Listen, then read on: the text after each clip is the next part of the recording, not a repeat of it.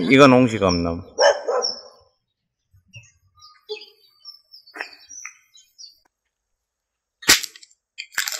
음, 장감나무입니다. 이것은 대봉입니다. 여기가 홍시감나무입니다.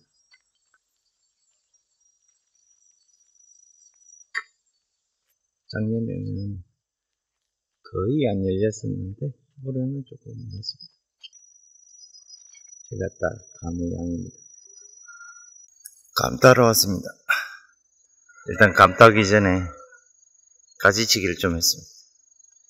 옛말에 못 오르는 남은 쳐다보지도 말라고 했는데 저희는 못 오르가는 나무는 다 잘라버려요. 오늘은 홍시감을 아, 딸 생각입니다.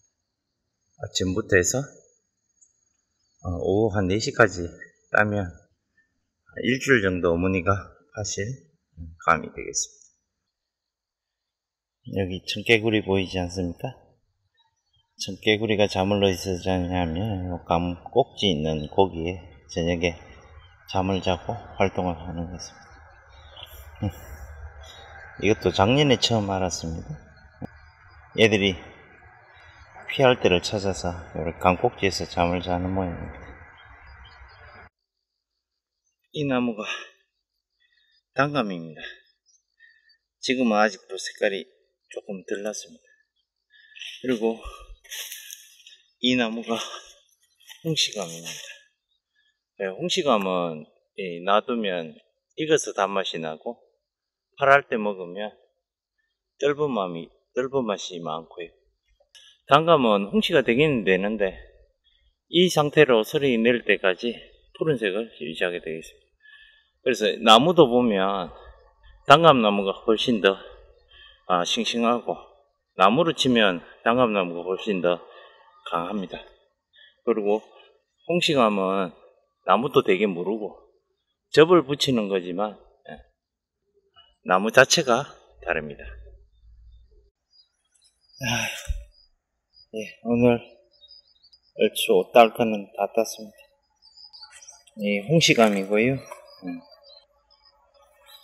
자연적으로 이렇게 익은 홍시를 구분을 해야 됩니다. 되게 말랑하기 때문에 이렇게 약간 되게 예쁘죠. 근데 이게 당도가 익어버리면 이렇게 갈라지고 이렇게 됩니다. 그래서 자연적으로 어, 익은 홍시를 맛보기가 쉽지가 않습니다.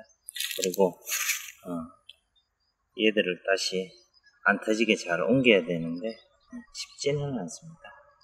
홍시감인데 이쁘죠. 굵은 것도 있고 어, 작은 것도 있는데 뭐 주어지는 대로